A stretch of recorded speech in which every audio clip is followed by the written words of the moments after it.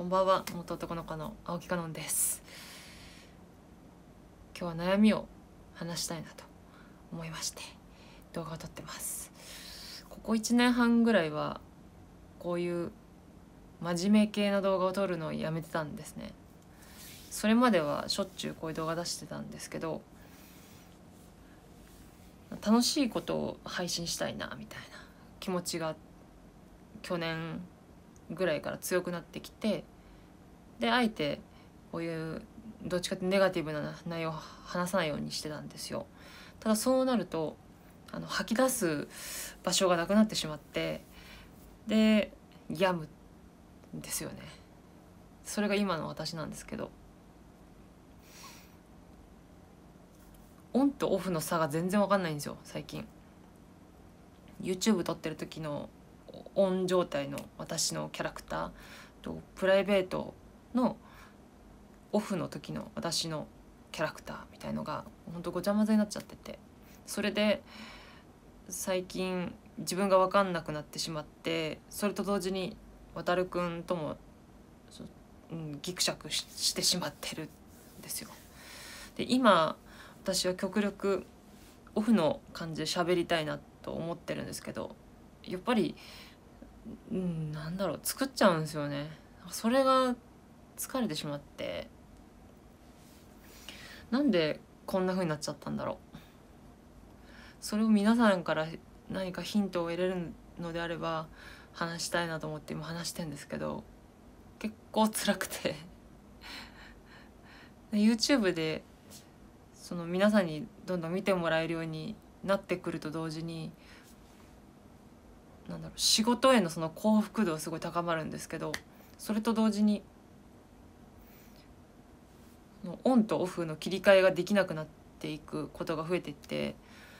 なんかプライベートでも常に覚醒しちゃってる状態。覚醒なんて言うんだろうな。その目がカッと開いてるっていう感じって言えばいいんですかね。心が静まらないんですよ。それが辛いですね。ありのままみたいな。ありのままを届けたいっていう気持ちはあるんですけどありのままって出しちゃうとなんかあんまり私面白くないから楽しくしたい。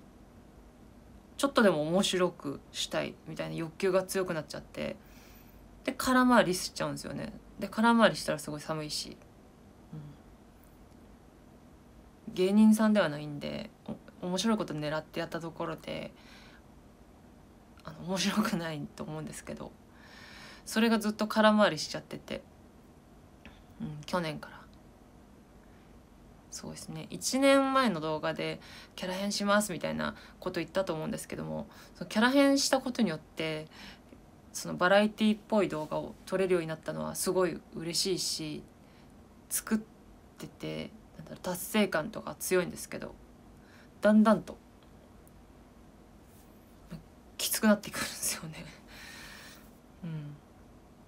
逆に YouTube 始めたての時ってそういうのがなくて始めたての時っていうキャラ変する前はそういうのなかったんですよ。むしろこういうテイストの、うん、どっちかというと沈んでる感じって言えばいいんですかね。そういう動画を出してた時はあんまりストレスたまんなかったんですよ。常に吐き出して視聴者さんに悩みを聞いてもらってるからそれは解決されるからよかったんですけど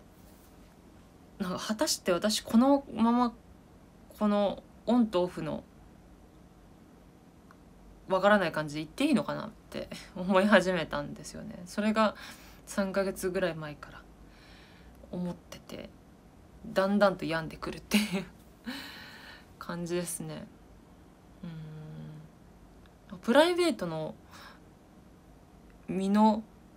振る舞い方が分かんないんですよ今。もうプライベートでも YouTube っぽいキャラうわーみたいな。そんな人いないじゃないですか。それで渡るくんにも迷惑かけちゃってて。渡るくんって見ての通りすごい温厚だし素敵な方なんですけど。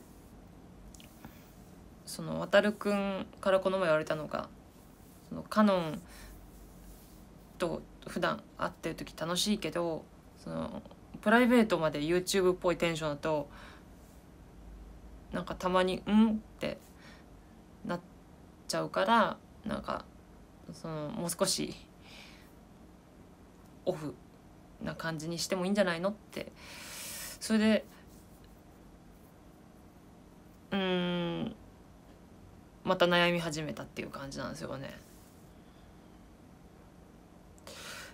プライベートの時の身の振る舞い方忘れちゃって何が青木なんだって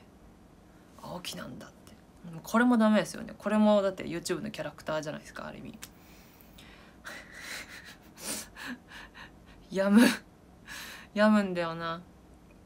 ここまでだったらなんとか立て直せると思うんですけどじゃあここまで私がぐたっとなってしまってるのがもう一つ理由ありましてその仕事やった後ってその体力的にもそうなんですけども心身その精神的にどっと疲れる時ありません？なんかそれがプライベートでも起こり始めてるんですよね。仕事をやりきったっていうのはあるんですけどその後に普段のその自分とは違うキャラクターにガッとこう振り切っているわけなんでその反動でふうってなるんですけどそれがプライベートでも起きてしまってる。渡くんと会う時もそういう風になってるんですよね。青木カノンっていうキャラクターで渡くんとプライベートで接してしまってるっていう。それがすごい失礼だなと思っちゃって渡くんに対して。失礼っていうか申し訳ないなと思って、うん、渡くんにも気使わせちゃうしプライベートでそのカップルで会ってる時になんだろう。YouTube みたいなキャラクターで来られたら嫌じゃないですか。誰だって。うん、で渡くんと会った後もその YouTube を撮影した後の精神的疲れみたいな、難しいけど言葉難しいな。なんて言えばいいんだ。もうずっとその答えを絞り出せない状況ですね。これって何なんだろううんなんか全てのことに対して最近は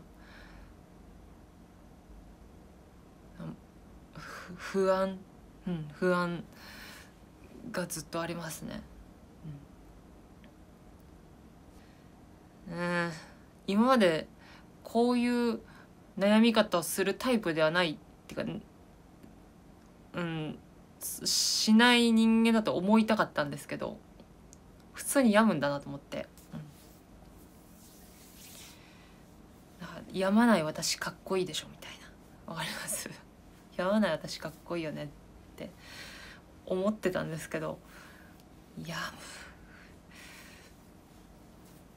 む助けて。うん難しいな。すごいんですよね他の YouTuber さんって。もっと人気ある人たちとか特にそうですけどいろんなプレッシャーあるじゃないですか。私でさえプレッシャーすごいのにプレッシャーに押しつぶされずに YouTube 上でのキャラクターに振り切ってやれてるわけじゃないですか。どうやったらできんだろう。むしろもうプライベートもあのテンションなんですかね。プライベート。もうその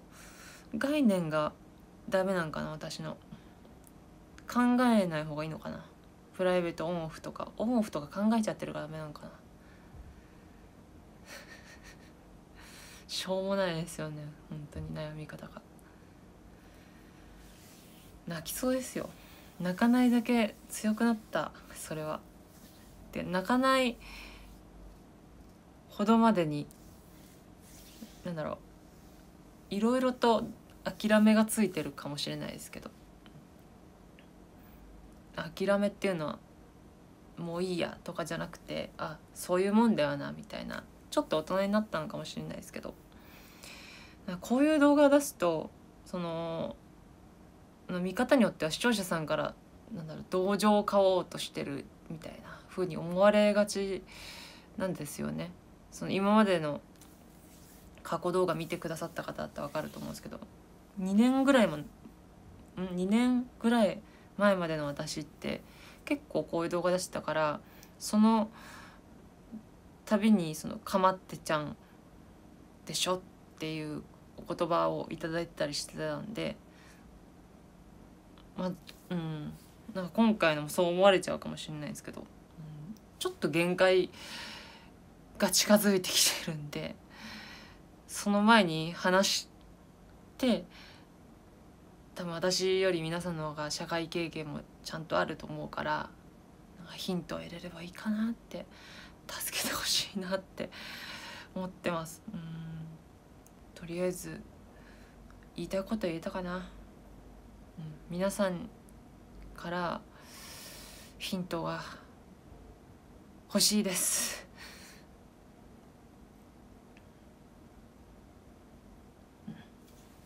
ありがとうございました。